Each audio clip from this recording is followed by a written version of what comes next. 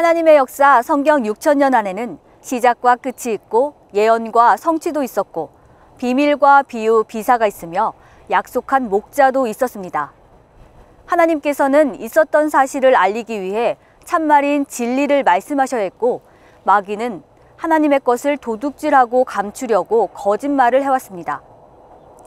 여러분들은 하나님께서 선민 아담 세계가 부패하자 멸망시키고 노아의 세계를 세우신 것을 경을 통해 아실 텐데요. 이렇듯 한 시대가 부패할 때마다 새 목자를 택해 새 시대를 열었다는 것을 알 수 있습니다. 예수님 재림 때의 사건을 말한 이 계시록 21장에도 전통의 이전 세계가 끝이 나고 약속한 새 나라, 새 민족이 창조됐다고 말씀하셨는데요.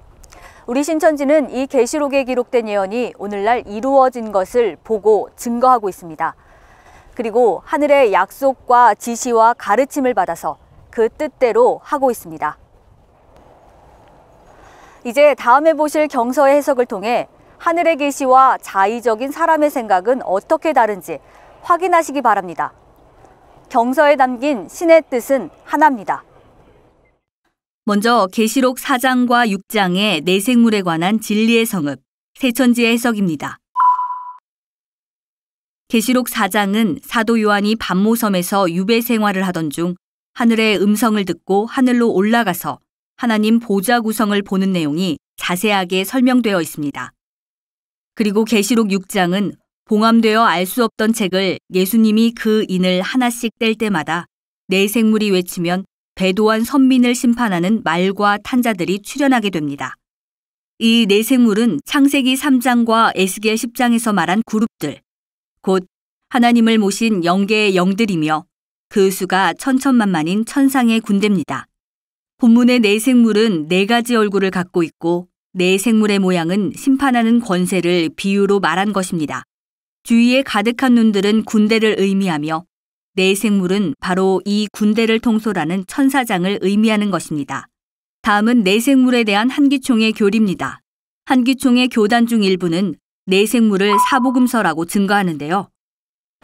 영계 하나님의 보좌 앞에 내 생물이 사복음서라면 많은 눈들은 과연 무엇일까요?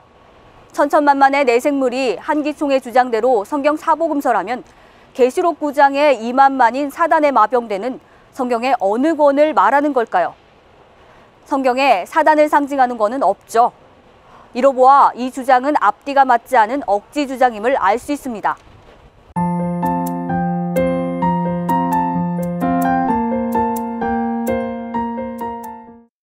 다음은 계시록 11장의 두 증인에 대한 진리의 성읍, 세천지의 해석입니다.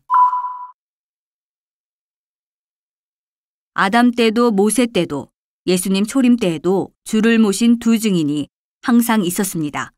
모세 때는 아론이 등불의 역사를 했고 초림 때는 세례 요한이 등불의 역사를 했죠. 주 재림 때인 오늘날도 주를 모시는 두 증인이 있습니다. 스가랴 4장에서는 오늘날의 이 두 증인을 감람나무라고 비유했죠. 두 증인 중 한 사람은 일시적으로 등불 역할을 하고 계시록 10장의 책을 받아먹은 다른 한 증인은 계시록 전장에 이루어진 사건을 직접 보고 증거하게 됩니다. 사건을 본 증인도 직접 하늘로부터 자신이 보고 들은 그 사건의 뜻을 받고 깨달아 지상 성도들에게 알리게 되는 것입니다. 그럼 이제 한기총의 증거를 보도록 하겠습니다. 다음은 두 증인에 대한 한기총 장로교의 해석입니다. 장로교는 두 증인을 구약과 신약, 교회 공동체라고 설명합니다. 계시록 11장의 두 증인은 예언을 하다 무적행의 짐승에게 죽임을 당하게 되고 사흘 반 동안 사람들이 그 모습을 보게 됩니다. 그리고 하나님의 생기로 다시 살아나게 되죠. 그럼 두 증인이 장로교의 해석대로 구약과 신약이고 교회 공동체라면 언제 죽임을 당하며 사흘 반 후에 살아난 일이 있었을까요? 과연 누가 교회 공동체를 실제로 죽일 수 있을까요?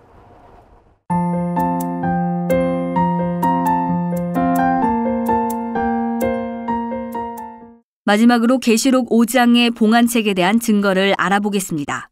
먼저 진리의 성읍 세천지의 해석입니다. 세천지의 봉안책에 대한 해석은 바로 신약의 이룰 계시가 기록된 책으로 계시록 1장에서 22장까지를 말하는 것입니다. 구약에 봉해졌던 묵시책은 모두 예수님을 통해 소림 시대에 성취하셨습니다. 이처럼 신약의 묵시도 앞으로 이루어질 내용이 기록되어 있는데요. 천상천하에 누구도 이 책을 펴거나 볼 사람이 없어서 하나님 보좌 앞에 간 사도 요한이 크게 운 것을 우리는 성경을 통해 확인할 수 있습니다. 그리고 계시록 5장을 통해 방해자 사단을 이기신 예수님이 이 봉해진 책의 인을 떼고 펼치면 6장에서 인을 뗄 때마다 그 실체가 나오게 됩니다. 이처럼 계시록은 그 이룰 때 일어난 일들이 기록된 책으로 재림의 중요한 내용이 봉함되어 이루어질 때까지 온 것입니다. 그럼 이제 한기총 소속 교단들의 해석을 보도록 하겠습니다. 순복음은 봉함된 책을 마귀에게 넘어간 에덴 동산의 토지 문서라 주장하며 침례교단은 땅에 대한 소유권을 나타내는 등기 문서라고 주장합니다. 토지 문서, 등기 문서 모두 성경 어디에서도 찾아볼 수 없는 단어들입니다. 전능하신 하나님께서 과연 이 땅의 토지 문서와 등기 문서를 갖지 못해 사도 요한을 택해 계시를 주신 것일까요?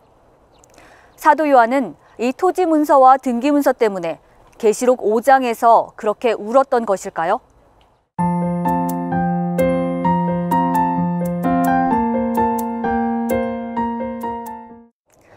신약의 계시는 오직 계시를 받은 한 목자만이 알고 전합니다. 모든 성도님들은 이 계시의 말씀에 대한 증거를 받아 구원에 이르기를 기도합니다. 계시와 주석 다음 시간에 뵙겠습니다.